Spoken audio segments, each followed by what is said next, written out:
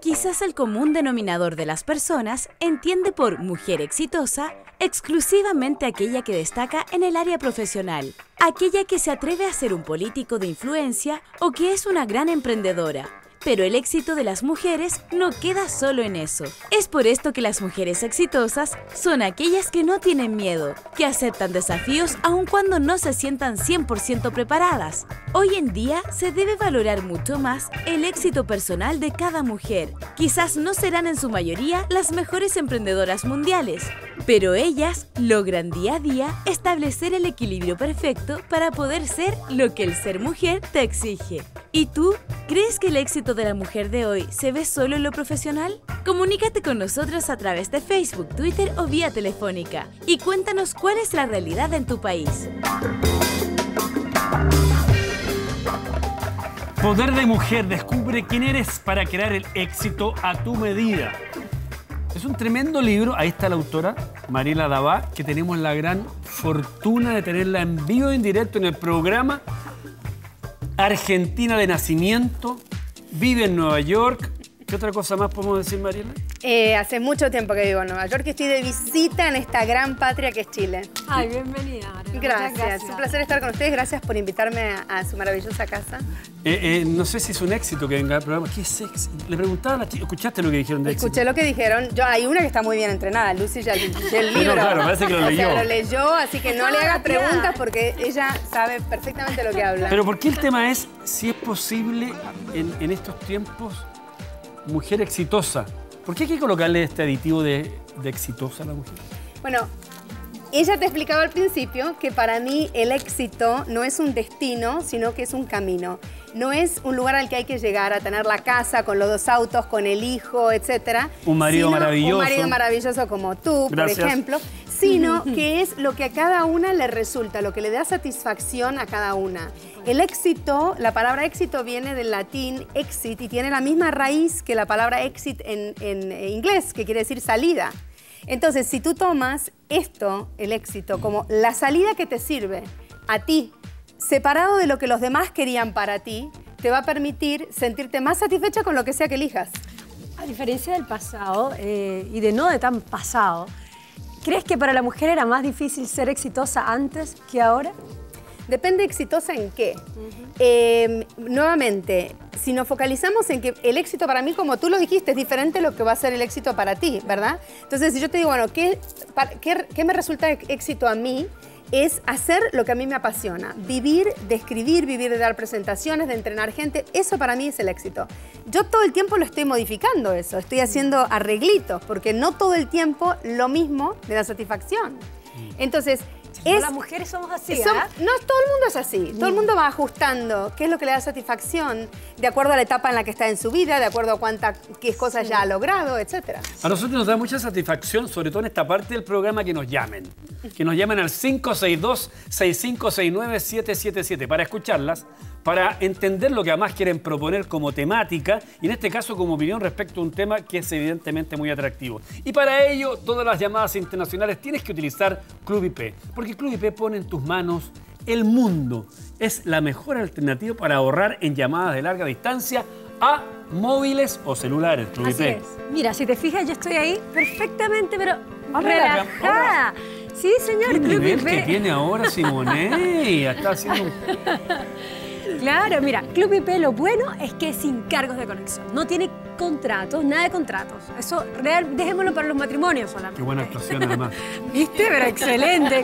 Casi me nominaron a Oscar, casi me nominaron a Oscar, justo para atender esa llamada. El caso es que sin cargo de conexión, sin contratos ni cláusulas de permanencia y te da pleno control sobre tu gasto de larga distancia. Cuando tú prefieres el Club IP, vas a tener unas tarifas muy bajas que se cobran directamente a tu tarjeta de crédito. Podrás realizar todas las llamadas que quieras a cualquier lugar del mundo a través del teléfono celular, teléfono fijo y cualquier otro teléfono que desee agregar con las mismas tarifas. Eso es Club IP. ¿Cómo se, ah? cómo se reinventa, las ganas que tiene cuando ella participa? Que cualquiera le gusta, ¿no? Pero viste, la área dramática hizo ese...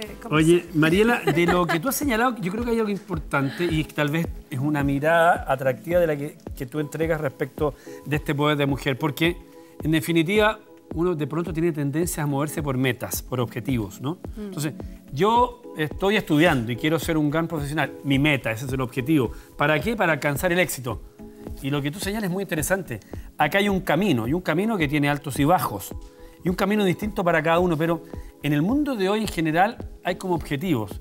Por ejemplo, el objetivo es que la mujer esté más inserta en el mundo laboral, que tenga las mismas oportunidades, que cuando sea acceso al paga, a, la, a la paga de su trabajo sea igual o superior al de un hombre. Igual uno se mueve en base a metas, ¿o no? Sí, y, la propuesta no es que no tengas metas, sino que partamos un poquito para atrás. El libro, todo esto que estamos conversando comienza a partir de este libro Poder de Mujer. Y el subtítulo es importante, descubre quién eres para crear el éxito a tu medida. El libro empieza hablando de ciertos mensajes y em, mandatos inconscientes, algunos verbales, otros no verbales, que recibimos desde que somos muy chiquitas. Muchas veces tiene que ver con predeterminaciones que hace nuestra familia, la sociedad, antes de que nazcamos, respecto de qué es lo que se espera de nosotros. Cuando tú no tomas conciencia de eso, vas con la corriente, estableces metas que de pronto no eran las tuyas. Por ejemplo, eh, tus padres querían que tú fueras médico y tú querías hacer otra cosa, pero no te diste cuenta que querías hacer otra cosa. Seguiste con eso, te recibiste de médico, tienes cierto éxito, tienes, tienes pacientes, etcétera, pero te sientes insatisfecho todo el tiempo y no sabes por qué. Un día te pones a pensar, pero es que en realidad a mí lo que me gusta es la pintura. Y ahí empiezas a establecer nuevas metas que tienen que ver con lo que tú estableciste que va a ser lo que a, ti te va a dar satisfacción. Le reiteramos, 562-6569-777. ¿Qué relación hay entre el éxito y la felicidad? Están muy relacionadas porque nuevamente la idea de encontrar el éxito es encontrar lo que te satisface y te da felicidad a ti. Y cuando estás en algo que no te da satisfacción, tienes que buscar cómo cambiarlo para entrar en algo que te dé mayor felicidad. Están unidas. Desde Florida, en Estados Unidos, nos está llamando Marta. Eh, Marta, gusto saludarte. ¿Cómo estás? Hola Jorge, ¿cómo está? Qué gusto. Igualmente, Marta querida. Te escuchamos. Estoy acá en Florida y bueno, como usted sabe, le contaba de que acá uno empieza de cero, no tienes profesión, eh, no tienes empleada. Para mí eso es el éxito, eh, poder enfrentar nuevas nuevas eh, cosas difíciles, que tienes que partir con el idioma, trabajar, llevar la casa, los niños, salir adelante, romper con todos los miedos. No, para mí ese es el éxito, no es el ser profesional o médico, no, es enfrentar todo lo que se va presentando en el minuto y, lograrlo. Ok, Marta, muchísimas gracias, un abrazo. Absolutamente de acuerdo. Y qué interesante lo que acaba de señalar Marta porque tú lo sabes, Mariela, tú también eres de una otra manera una inmigrante, naciste en Argentina, vives hoy en Nueva York, que es la, la mayor parte de nuestra, de nuestra audiencia, es gente que ha salido de sus países. Y evidentemente que su manera de ver el éxito puede ser distinta a cuando tú estás en tu país desarrollando una carrera familiar, profesional, etcétera. Bueno, lo que ella aparte trae es esto de que no necesariamente el éxito tiene que ver con la parte profesional para todo el mundo. De ahí que cada uno pueda enfocarse en qué es lo que le, va a servir a esa persona. Como inmigrantes, la primera salida fue la salida del país. Entonces imagínate si no tienes que ponerte nuevos objetivos en tu nuevo país y poder determinar, a ver, qué cosas voy a poder lograr, qué cosas no voy a poder lograr en este nuevo país. Como dice ella, aprender un idioma nuevo, por ahí volver a estudiar, estás criando al mismo tiempo tu familia, no consigues trabajo, ¿cómo se te limitan tus posibilidades? No tienes entorno. Exacto se te limita un poco las posibilidades. Claro, también tiene que ver mucho con estarse reinventando una misma, ¿no? Yo creo que va por ahí, porque por lo menos a mí me ha pasado, uno cree que con los años uno quizás va dice, uy, lo que quedó atrás, o, te sientes, eh, o lo que te predispone a la sociedad a que quizás no vas a lograr lo que, lo que es la felicidad o el éxito. Pero todo lo contrario, más bien uno se siente con más herramientas y con más capacidad para reinventarse. Sí, y creo que en el mundo en el que vivimos, este mundo global tan competitivo, exige que todos nos estemos reinventando todo el tiempo. Hay veces que la gente se queda trabada, uno de los grandes problemas que nosotros vemos con las mujeres, no solo en Estados Unidos, sino en el resto del mundo, de, de Latinoamérica, por ejemplo, es que quedan trabadas en determinadas capas intermedias gerenciales, ¿no? que no logran salir de ahí. Entonces sí, por un lado hay cierta discriminación institucionalizada, ciertos problemas que están establecidos por políticas impuestas por, bueno, quienes están en el poder ahora, que tienden a ser hombres. Y por otro lado hay ciertas cosas que ahí viene donde yo creo que el libro las empodera, que son cosas que las mujeres pueden cambiar para salir adelante y que tienen que ver con, bueno, a ver, ¿Cómo te reinventas para insertarte en este mundo laboral y poder seguir creciendo? Bueno, eh, las opiniones de ustedes ya lo saben, al Twitter, a nuestro Facebook, al teléfono, el Twitter y el Facebook están funcionando. Grisel Feliz nos comenta, dice, mujer exitosa es aquella que saca a sus hijos adelante, los hace mujeres y hombres de bien, saca su casa, atiende a su pareja, lo mantiene contento y dispuesto, es psicóloga, enfermera, consejera, siempre tiene espacio para todo y todo, se enferma y se levanta, vence barreras con dignidad y sin perder su identidad, es buena hija y amiga y no explota al terminar el día. Somos súper mujeres exitosas, dice la República Dominicana. ¡Qué bueno! También yo creo que ella es superwoman. Sí, claro, O claro. sea, imagínate, está a cualquier describiendo- mujer, ¿ah? Sí. Cualquier mujer Sí. debería. Sí, pero yo creo que eh, lo que nos olvidamos es que a veces, eh, y muchos de nosotros lo hacemos ya por, por inercia, pensamos que el trabajo siempre es el que está fuera de casa. Y el trabajo que está en casa es muchas veces mucho mayor y con más responsabilidad que el trabajo que está fuera de casa. Lucy. Mira, Guillermo Miranda tiene otra mirada, dice que todo es relativo y nada es completo. Muchas veces el éxito en la profesión de la mujer puede ser a costa del matrimonio o de sus hijos. Considero que podríamos aceptar como éxito si en todas sus actividades hay un equilibrio, considera él. Perfectamente. Y creo que lo más difícil de conseguir es el equilibrio, sobre todo para mujeres que trabajan y que tienen familias y que de las mujeres exitosas que yo entrevisté para mi libro coinciden en que en realidad el equilibrio no existe. Que uno tiene que vivir el momento y, y pegarle a full en el trabajo y pegarse a full en la casa y no esperar que vas a tener un 50-50 de las dos cosas. La sí. llaman desde su país natal. Así es, nos llaman, señorita. ¿Aló? Lila. Sí, hola. Lila, ¿cómo Sí, estás? yo. Saludos por allá en Buenos Aires. Gracias, me ha ido muy bien acá. Hace 27 años que vivo acá. ¿Es usted una mujer ex- exitosa? Sí, me siento exitosa porque saqué a mis hijos adelante y les ayudé a comprar su casita acá. Cada uno vive bien, están con su cochecito, con su estudio, sus hijos. Y, y la ayuda que yo le hice a mi hijo me siento con mucho éxito porque de allá de Chile me traje una máquina de coser, un niño a cada lado. Me fue muy bien, estoy muy agradecida de este país. O sea, el éxito va asociado a qué? Por ejemplo, al trabajo, al esfuerzo, sacrificio, a la suerte. ¿Qué opinas tú, Lila? Exitosa por, hola, porque eduqué a mis hijos y fui solita, no, no tuve el compañero a mi lado. Perfecto. Ok, Lila, muy amable, muchas gracias. Bueno, el esfuerzo visto desde distintos puntos de vista. A ver, mi experiencia, soy un papá de dos mujeres y vivo con una mujer, con otra mujer. Mi sensación es que los tiempos también tienen relación con este éxito del libro que tú has escrito. Porque lo de hace 30 años es distinto a lo de hoy. Hoy tu, tu hija o una chica de 15, 20 años dice, primero voy a desarrollarme profesionalmente, quiero conocer el mundo, quiero, quiero conocer a la gente y luego a lo mejor voy a ser madre y luego a lo mejor voy a... Eh, eso hace 30, 40 años tal vez era impensado. ¿También ta- eso es parte del camino del que tú hablas para el éxito? Sí, claro, todo- va- vamos ayornándonos, ¿no? A medida que van cambiando las épocas. Lo que sigue ocurriendo es que a nivel laboral sigue habiendo ciertas trabas. Seguimos viendo que en los países, por más que eh, las mujeres en, en casi todos los países están entrando a la universidad y graduándose en mayor porcentaje que los hombres, y que ya ocupan prácticamente en Estados Unidos el 50% de la fuerza laboral, acá en Chile más o menos un 30 y pico, casi 40. eh, igual siguen sin ocupar proporcionalmente cargos a nivel este, empresarial, cargos a nivel político, etc.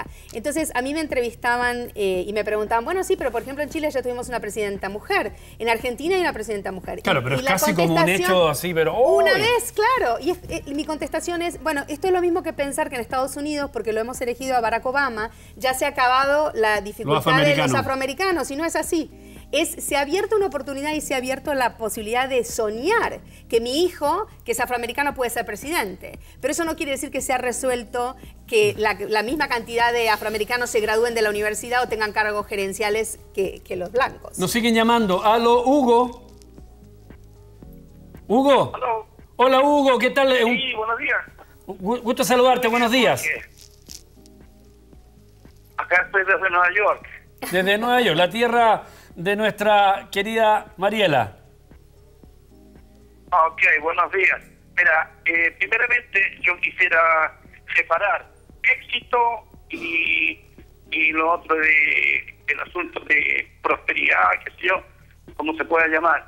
Eh, yo conozco casos de mujeres que han llegado acá con niños en los brazos, con bebés, han estudiado y ahora una gran abogada aquí en Nueva York, es argentina, que tiene oficina en un barrio muy popular, se llama María Aurora, está en, en la avenida Rubén, que es muy importante acá. Y otra señora que se instaló con una empresa de envíos a Chile, que es, eh, la compañía Ludimar, que envía, hace envíos grandes. Barcos mandan para allá llenos de cosas a los chilenos. Y mujeres que llegaron aquí haciendo nada. Y otra que hubo antes de una compañía de aérea también, que llegó limpiando casas y después tuvo una de las más grandes compañías aquí. Así que el éxito y la suerte yo las separo. La suerte se tiene para ir a los casinos, jugar, y el éxito lo, lo haces tú a través de la vida y a través de tu esfuerzo. Eso es lo que yo pienso. Así Perfecto. que vivan las mujeres también. Ok. lindo, qué Que lindo. vivan al lado nuestro, dices tú, ¿no? Ok, gracias, Hugo. Hugo es un- uno de los este, de las personas estas, de los hombres que apoyan a las mujeres que tienen éxito. Y cualquiera sea el éxito, porque puede ser el éxito una mujer que ha llegado sin nada o sin educación o sin dinero y ha salido adelante. Perdón, te interrumpo. Sí. Significa, porque tú dices, Hugo es uno de los que apoya a la mujer de éxito. A- a- Hay hombres que no les gusta. Hay hombres mujer- que no les gusta, pero este, me extraña, Jorge. Pensé que me ibas a hacer la contra y me ibas a decir que tú conoces muchos de esos. No, no, yo, por ejemplo, es que los que estaban en este programa eh, los echamos. Los que ya pensaban quedaron solo, solo mujeres No, quedaron. no, acá. quedaron hombres que opinan como nosotros, que apoyan a, a las mujeres en, en su éxito. Ricardo, que era el único que estaba en contra, ya no viene más, ¿no? No, no. Hay que liquidar a la- los, los que Es que yo no creo que nadie. A ver, esta es mi percepción. Yo no creo que nadie no quiera el éxito de las mujeres. Pasa que no somos, no somos distintos. ¿Sí, no? Sí, pero también hay formas, de, hay formas de hacerlo sin que sea directamente. A ver, un ejemplo. Cuando en el trabajo una mujer eh, jefe, muchas veces es cuestionada, muchas veces descalificada por hombres que están a su, a su alrededor, no debe venir con la regla, o no debe tener tal cosa. Entonces, yo creo que esas son formas de irte pateando el camino por ser mujer con poder. Entonces, hay formas y formas, y de eso está lleno, está lleno aquí y en todos lados, y, y la mujer lo sabe. Y yo creo que, que no es verdad que todos los hombres quieren el éxito de la mujer. Creo que hay algunos hombres que se sienten complicados porque se quedan sin rol para jugar ellos si tienen al lado una mujer demasiado exitosa. Ahora, cuando, cuando ustedes tienen éxito, ¿no nos devuelven la mano un poco también? Sí, A ver, tampoco creo que se puede generalizar. No, Yo creo que a todo el mundo beneficia que ambos géneros tengan éxito porque cada uno se siente satisfecho y cuando tienes a una persona al lado tuyo que está satisfecha, obviamente va a estar mejor a tu lado que si está insatisfecha. Seguro. Pero el, el tema también creo que tiene que haber una renegociación de los roles en la sociedad, que es algo que me parece que nos está faltando, porque a partir del movimiento femenino, en donde han salido las mujeres adelante, qué sé yo, ha habido todo un cambio en donde los hombres a veces han quedado mal parados y no saben cómo manejarse, no saben qué se espera de ellos. De- depende, yo diría que ahí, Mariel, depende del lugar que estemos hablando. Yo ah, creo que lo comentaba el otro día, eh, eh, después de un viaje, hay lugares donde no es noticioso, no tienes que ir al lugar a decir, hoy yo hago las camas en la mañana, yo ayudo a mi bebé a... No es, noti- es normal. Claro. Todavía hay otra sociedad donde eso es un hecho noticioso. Es, un- es al- es algo que uno comparte. Mira, mi marido, qué maravilloso. Hace las camas en la mañana los días sábado domingo. Dos veces a la semana en una semana que tiene siete días. Pero hay cosas que no se pueden cambiar. Las que llevan un bebé en la barriga son ustedes. Las que le tienen que dar de mamar un hijo son ustedes. Y eso no va a cambiar. Hasta donde yo sé, no sé, de aquí a 60 años más capaz que... nos- hombres embarazados. Nos hagan crecer algo y le demos algo, no sé. Bueno, lo que pasa es que yo creo que la paridad de lo que se habla en- a nivel profesional, ¿no? Y este libro es un libro, hay que acordarse que es un libro que está enfocado a lo profesional, que si bien eh, tiene ese foco, te va a ayudar a resolver cosas en tu vida privada también, porque te hace hacer una introspección respecto a dónde estás parada tú. Pero la búsqueda de la paridad no es una búsqueda de igualdad en cuanto a que las mujeres son iguales que los hombres. Físicamente son diferentes, fisiológicamente son diferentes, emocionalmente son diferentes, pero la paridad es otra cosa. Es que hay, a igual capacidad, a igual preparación, a igual talento, a igual educación, nos paguen lo mismo, nos reconozcan y nos den las mismas oportunidades. Esa es la paridad. Y otra cosa que quiero aclarar es que este no es un libro feminista.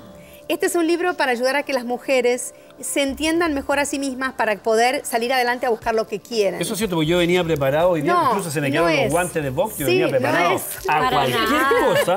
No, para que no, la cosa está más suave. No, oye, antes de darle el pase a Luis Sol, te quiero dejar una pregunta, así como dando vueltas. ¿Éxito a qué costo? Porque a veces yo misma también me cuestiono, a veces porque vengo de una familia bastante mm, tradicional, o tradicional, donde la madre o donde las abuelas estaban en casa y se preocupaban mucho de la formación de los hijos, hasta bien avanzada edad, ¿no? Hoy día es imposible hacerlo y no estoy cuestionando a las mujeres que no lo pueden hacer, porque a mí en algún momento me va a tocar hacer lo mismo. Entonces, eso no vendrá un poco de la mano de lo que está pasando con nuestra sociedad que cada vez empeora un poco más, no hay muchos valores, no hay mucha no hay mucho espacio como para la familia porque la mujer no está allí presente como el pilar fundamental de la, de la familia. Mira, esto es un poco lo que te decía que hay que renegociar los roles. Porque me parece que esto de que, bueno, sí, que los hombres hacen la cama y demás no es noticia y demás, pero sigue habiendo una, eh, inconscientemente, una, una expectativa de que la mujer, por más que trabaje, igual vuelva a casa y se ocupe de los hijos y era la- es la que mantiene en equilibrio el hogar. Y mientras eso siga estando subyacente, es un estrés muy fuerte en la mujer. Porque fuerte. como lo- lo- lo- los emails que estaba leyendo, eh, estábamos leyendo recién, no se puede con todo. Realmente en algún momento algo va a caer. Entonces, eh, creo que eso lo tiene que medir cada uno. Decir hasta dónde, hasta dónde yo puedo. Hasta dónde yo no me vuelva loca. Hasta donde a mí me esté dando, me esté funcionando. Cuando no me funcione más, tengo que renegociar esto. Cuánta cosa que surge a partir de lo que está señalando Mariela. Pero lo importante es lo que dicen ustedes, lo que piden ustedes. Mira, Mario en Londres escribe y dice, cualquier mujer puede ser exitosa siempre y cuando la sociedad nos lo permita y los hombres deben creer en nosotras, dice, y se considera ella una mujer exitosa, nos pone más abajo. Y otro mensaje que nos dejó Karin Bayer es, si bien la presencia de la mujer en el mundo laboral ha aumentado y hace un buen papel, llamado el nuevo poder femenino, creo que la sociedad y sobre todo la influencia de Europa en Latinoamérica está dejando de lado la labor de la mujer en otras áreas y nosotras mismas permitimos que no se reconozca. Un poco también que ver Bueno. eso, el apoyo de mujeres, entre mujeres y, y fomentar nuestra Apoyo de labor. género. Bueno, y de ahí es que lancé mi eh, movimiento de los zapatos rojos, el Red Shoe Movement. Qué bueno. Porque tiene que ver con esto del apoyo de género. El hecho de que eh, hay muchas razones por las cuales las mujeres siguen sin salir adelante. Como decía antes, hay problemas institucionales, hay el hecho de que hay políticas que no las favorecen. Y un pedacito chiquito puede ser también que a veces las mujeres no nos apoyamos mutuamente. Pero obviamente esa no es ni la razón principal, porque hay tan pocas mujeres en poder gerenci- en, ejecutivas que te puedan abrir la puerta, que ese no es la razón principal. Pero mi objetivo era, bueno, a ver, si este es uno de los comentarios que surgen, de que las mujeres tendrían que apoyarse más mutuamente, saquemos ese obstáculo de lado, lancemos un movimiento que los días martes vamos las mujeres con zapatos rojos al trabajo en demostración de nuestro apoyo a hoy no es martes, Ah, hoy es perdón, jueves. Hoy no es martes, los Pero yo tengo martes mis buenos más. zapatos rojos, ¿ah? Pero entonces te pones los zapatos rojos los martes en demostración de que estás apoyando la carrera de otras mujeres. Y eso está empezando a cobrar este auge. Eh, lo lancé eh, cuando a poco tiempo que salió el libro y entonces todos los martes algún anfitrión diferente de televisión, una anfitriona se pone los zapatos rojos y hacemos eventos en compañías. En, la compañía Avon lanzaron el book club de mi libro, o sea, tienen un club de lectores de mi libro y van los martes con zapatos rojos y, han- y hicimos un segmento en CNN con, con ellos. O sea, ha empezado y en las conferencias van mujeres con zapatos rojos y demás. Entonces, esto es una forma de que nos apoyemos mutuamente. Estar conectados. Yo iba a proponer que fueran bombachas rojas, pero sería más complicado poder Claro, mostrar. tenés que mostrarla. Bueno, pero las- el rating subiría de una manera escandalosa. Escandalosa, escandalosa. Eh, ¿Y por qué estás en Chile? Estoy en Chile porque mañana estoy presentando un taller sobre mi libro Poder de Mujer que se llama El éxito es un camino hecho a tu medida con AmCham. Y los que se quieran anotar y estén acá en Chile pueden comunicarse con Am- AmCham at- en, en eventos arroba amchamchile.cl eh, para anotarse y venir mañana al evento. Así que para eso estoy en Chile. Y cualquier contacto que quieran tener con Mariela, ahí están sus contactos, su, tir- su Twitter. Mi Twitter que es Mariela Dabá, mi Facebook que es Mariela Dabá. Pueden hacerse amigos de eh, la página de Red Shoe Movement en Facebook que es Red Shoe Movement. Y a los que quieran conseguir el libro, ¿les puedo decir a dónde? Pero de eso se trata. Nos están- ya nos están diciendo que están llamando porque tenemos aquí una información. Bueno, eh, el libro se puede comprar en amazon.com con Z, amazon.com y te lo mandan a tu casa. A veces te sale más barato que en la librería. Está en las librerías en toda Latinoamérica. Lo que pasa es que cada, cada país tiene su distribuidor. Entonces, a cualquiera que lo, lo quiera comprar en amazon.com se lo mandan a la casa. A mí me encantó el tema y me enca- el próximo martes a ver si me pueden eh, producir un par de zapatos rojos para mí. Porque así yo quiero formar Mira que yo te digo que Puma tiene unas zapatillas rojas espectaculares Perfecto. y este, te las puedes poner. Y yo ya me empecé a incorporar al tema con mis calcetas, A verla. que han sido objeto de risa. No, que empecé a traer, me empecé a cantar. Tienen naranja. Muy bien, muy bien. Parecen las del Chavo del 8, las que usaban. ¿Ves? en- ¿Se dan en- cuenta, no? Mujer con poder se ríe de mí. No, no, pero o sea, tú te puedes poner medias rojas para el martes y las chicas se vienen con zapatos rojos. Perfecto, estamos Acá todos listos. tenemos algo rojo. Ok, listo. A ver. Mariela, muchísimas Mira, mira, gracias. un placer, gracias por traerme aquí. Es que digo que todos tenemos algo rojo. Todos tenemos algo rojo. Eso es cierto, no, sí es cierto. Ya. Hacemos un alto, muy buena invitada y aquí está el libro entonces para que ustedes lo puedan adquirir. Mucho éxito. Gracias. Mariela al poder y nosotros a la pausa, porque para eso tenemos que vivir.